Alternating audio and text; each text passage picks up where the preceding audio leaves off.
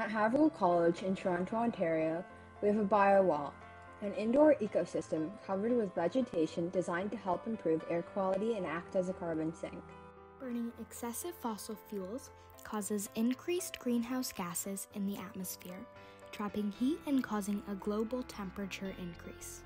Our biowall contributes to the mitigation of climate change because it removes carbon dioxide, a major greenhouse gas, from the environment and photosynthesizes it into oxygen, producing fresh air.